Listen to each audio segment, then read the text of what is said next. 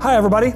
I'm Richard Roberts, and welcome to the Expect a Miracle Weekly podcast. By the way, somebody is receiving healing in the back of your right leg right now, even where you have pain down below your knee and your calf, you're being healed right now. Now, that's an operation of the word of knowledge. And whoever you are, I wish you'd call us at the Abundant Life Prayer Group at 918 495 7777.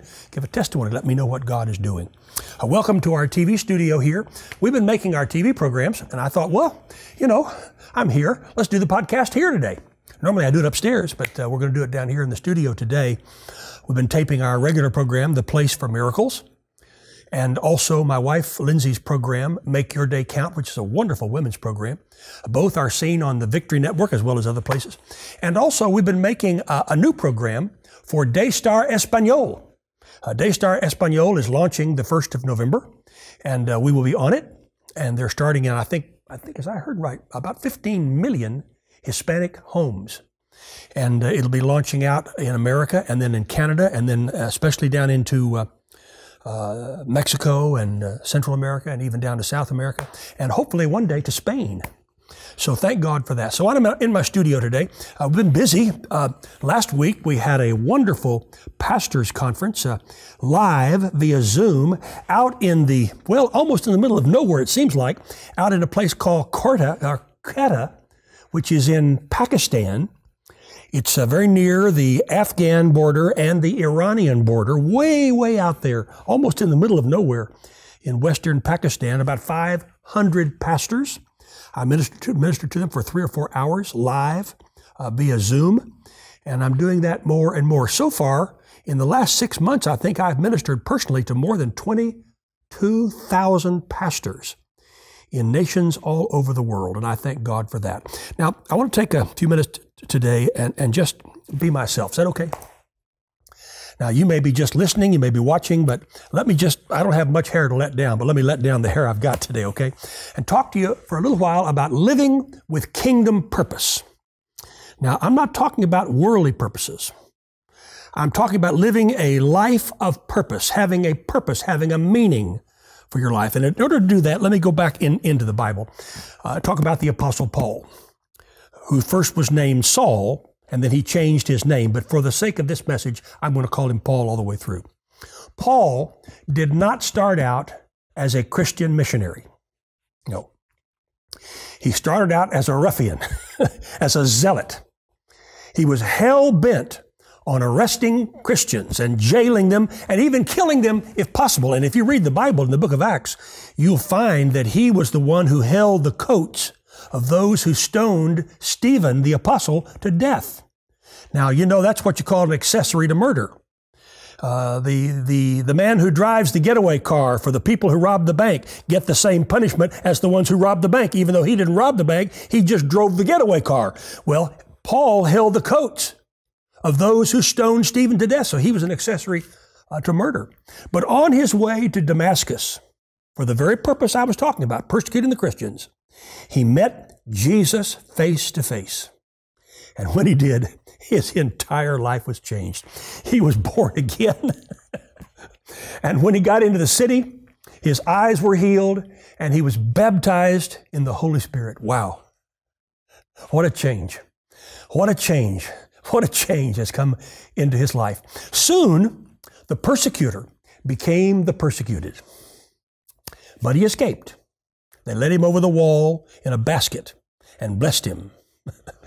and uh, he escaped their wrath and he started in his new lifestyle. And years later, I think, I think estimates some 10 to 12 years later, he began his public ministry. Now let's fast forward now on into Paul's life. Now it's coming down, down toward the end of, end of Paul's life. Now he's in a Roman prison and he's writing letters that would complete some two thirds of the New Testament. Uh, most of Paul's best work was written in prison. Nero, the Roman emperor, had given an order that anyone caught preaching, preaching Christ, would be imprisoned and maybe even executed. But Paul was compelled to do it at all costs. Well, certainly it was politically incorrect, but he did it. And today, Today we're seeing the beginning of the Nero spirit in America. In some places, Christians are being told they cannot worship.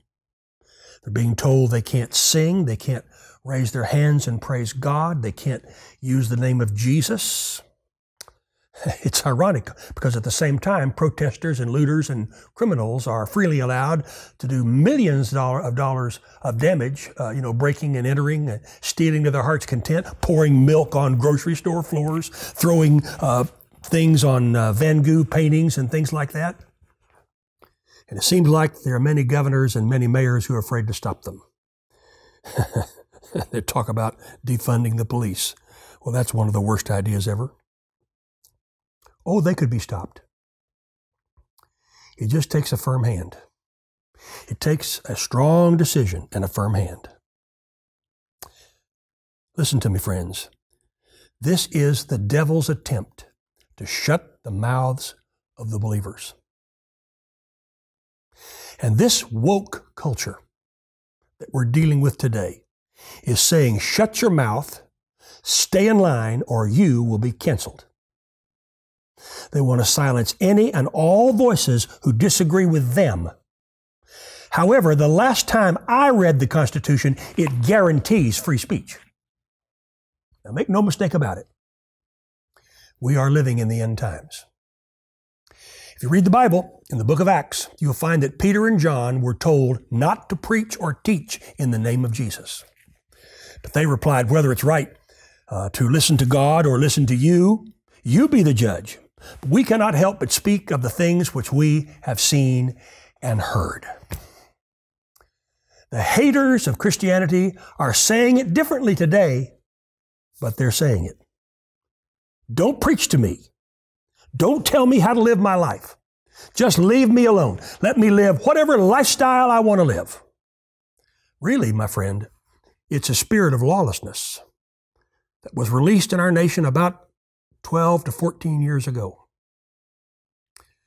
Our government has banned prayer in schools, allowing our borders to be unsecured, created an anti Christ spirit of cancellation that is attempting to choke the life out of people. So it begs the question where do we stand today? Do we live the status quo or do we live the kingdom life? It's a risk, isn't it? Someone might say, well, I'm limited what I can do because of, and then they list a litany of reasons. I'm too old. I'm too young. I'm too isolated. I, am too sick. I'm too tired. Uh, I don't get out much anymore. And excuses just go on and on. It's, it's so easy to say, I'm limited. Moses was limited at the Red Sea. And yet God spoke to him and said, Take that shepherd's rod and lift it up. And then God parted those waters, and two and a half million Israelites walked across on dry ground with the Egyptian army being drowned behind them. The three Hebrew young men, Shadrach, Meshach, and Abednego, were limited in the face of Nebuchadnezzar's threats. But when they were thrown into the fiery furnace bound, God loosed their bindings, and they walked out without even the smell of smoke on them. Gideon was limited with only 300 soldiers against an army of 10,000 Midianites, and yet he carried the day. David was limited by his slingshot against Goliath. But when that stone catapulted from that slingshot, it hit the only uncovered part of Goliath's body. Something entered his mind that had never entered his mind before. And the day was won. Elijah was limited on Mount Carmel when 450 prophets of Baal did their incantations and cut themselves and call their 1 900 numbers. Elijah said, Let him who is God be God. And the fire streaked down from heaven and consumed his sacrifice. And if you read the Bible, you'll find uh, Elijah did a pretty good job of taking care of the 450 prophets of the devil. Daniel was limited by lions. They were supposed to eat him. But instead of eating Daniel, they wound up devouring those who put him in. Noah was limited by an ark. It is said he floated a new venture while the entire world was in total liquidation. Hosea was limited by his desperate housewife. and that's all I'm going to say about that. And it looked like Jesus was limited as he hung on the cross. And the devil said, There, that's that. It's finished. But he didn't realize that Jesus was taking on the sin of the world, that he was taking the stripes on his back for your healing and mine. Well, our limitations. Our limitations are our opportunity to glorify God and to present the gospel to someone who needs it. I have a dream and vision in my heart of reaching 100,000 pastors a year. And if those 100,000 pastors touch, let's say, an average of 1,000 people in a year, that's 100 million people. And over 10 years, that would be a billion people touched by the gospel of Jesus. I have a passion for it. So I say to you today, time to check your motives. Time to leave your attitude at the door. Because we're in this together. We're part of a team. And there's no I in team. So let's quit splitting hairs over doctrine. Let's become one in the Spirit together. Let's stop fussing and fighting. Why are God's people always fighting and the enemy's people always arm in arm? Let's stop fighting. Stop disagreeing. Let's come together under the banner of Christ. The Bible says one can put a thousand to flight, but two can put 10,000 to flight. In other words, stop magnifying your limitations. Stop fussing and fighting and feuding, and let's launch out into the deep and let down our nets for a catch of souls for the gospel of Jesus. He said, You'll be witnesses unto me in Jerusalem, Judea, Samaria, and the uttermost parts of the earth. Let's do it. And listen to this. It's time to rejoice continually. Stop whining, griping, complaining. Paul rejoiced while he was in prison. And he would not ever even admit that he had been uh, held captive as a prisoner of Rome. No, he called himself a prisoner of the Lord Jesus Christ. You can read it in the Bible. And the reason is because God had consumed his life. That's what I want. Now, you know, in the natural, it, it's, come on, let's face it, it's hard to rejoice when people have hurt you. And when they've accused you, and when they've lied against you, and when they've stolen from you. And in the natural, you wish you could, well, you know what I mean. I'm sure. I'm sure that every time Paul was beaten, and he was beaten a lot, in fact, he lists the times he was beaten. Uh, when he was beaten, I'm sure getting even crossed his mind. I remember, oh my. You know, you you put some things in the past, but still you remember. I remember when there were people who came against me with false accusations. Oh, how I wanted to get even. I wanted to get even with them. Those accusations, I call them accusations, uh, they were they were in newspapers, they were online, really hurt me because they were lies. It wasn't true. And I was trying to figure out a way to get even. And I did some research on those people and I found out some things they had done that were bad. And I was ready to expose them and end their I told people what I was planning to do, and I began to pray, and the Lord spoke to me and said, If you live by the sword, you're going to die by the sword. so I put the sword down. I did not strike at them. I forgave them. Wasn't easy. Now, do I like suffering? No. and I don't know anybody who does. I am against suffering, but I do know this. If you love Jesus, the world is going to hate you. I remember I was talking to my daughter, uh, Chloe, earlier today. I was reminding her of the time when she and her sisters were little and we went into a restaurant here in Tulsa. And it's just Lindsay and me and the three girls, Jordan, Olivia, and Chloe, and we were having a nice dinner. And a man got up from his table and walked over to our table. I didn't know why. I thought maybe he wanted prayer. I, I didn't know People do that. They come over, they want prayer, they want to say hello, or they want this or that, want a photograph. And he walked over to the table, and I looked up, and he said, You don't have any idea how much I hate you. I looked at Lindsay. She looked at me. Our children were, Chloe was in a high chair. Uh, and he just turned and, and walked, walked out the door.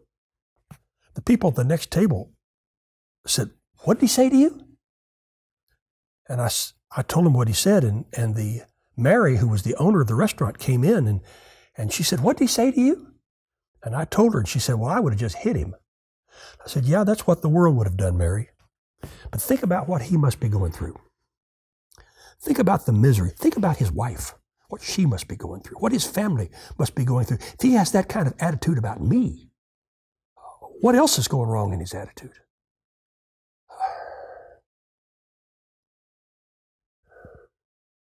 You got to get beyond that. You got to rejoice. And the reason I can jo- rejoice, the reason is very simple because I know who my Redeemer is. And I know that my Redeemer lives.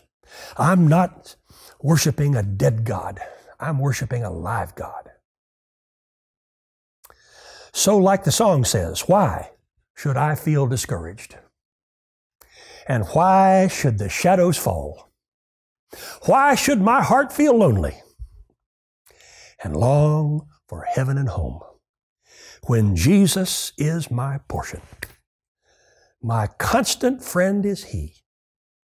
His eye is on the sparrow, and I know He watches me. Funny thing about a sparrow, the Bible says that he sees even a sparrow fall. Something as seemingly insignificant as a little tiny bird. Well, if he sees that, then he sees you. And he knows who you are. He knows where you live. He knows what you're feeling, what you're going through right now. And in the authority of the name of Jesus, I come against the satanic aggravation and accusation and attack. I come against every sickness and every disease, every fear, every doubt. I come against anything and everything that would try to wreak havoc in your life. I bind it in the name of Jesus. I command it to come off. I declare and I decree healing sent to you, according to Psalm 107, verse 20, which says, He sent His word and healed them and delivered them from their destructions. I rebuke every demonic force that has opposed you, oppressed you, and tried to block you out in the name of Jesus. And I pray for the beginning of healing, restoration in Jesus' name. Amen. Amen and amen. I'm so glad you joined me today for this podcast. I do it each week, and it's a joy and honor to do it. If you need special prayer, the Abundant Life Prayer Group is ready to receive your call at 918 495 7777 or online, richardroberts.org slash prayer. I'll see you next time on the Expect a Miracle podcast. God bless. Have you checked out our YouTube channel? It's packed with videos that will build your faith for these challenging times. You can watch the latest programs, The Place for Miracles, and Make Your Day Count. Also, take a look at the encouraging messages from Lindsay's prophetic dream teachings. In addition, Richard has specific healing prayers you can use. It's all here on our YouTube channel. Just go to youtube.com slash Richard Roberts Ministries. And don't forget to subscribe.